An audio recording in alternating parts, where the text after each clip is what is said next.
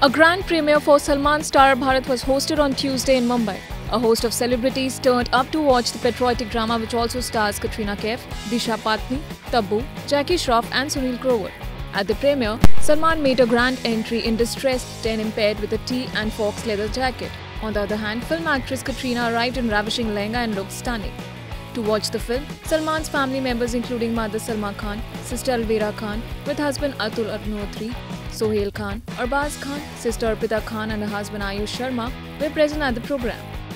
Major attractions of the evening were Karan Johar, Ananya Panday, Shanaya Kapoor, Kriti Sanon, Janhvi and Khushi Kapoor, Disha Patani with Tiger Shroff, Ishaan Khatter, Aamir Khan's daughter Ira, Mouni Roy, Urvashi Rautela, Neha Dhupia with husband Angad Bedi, Daisy Shah, Zaheer Iqbal, Nora Fateh, and Sunny Leone.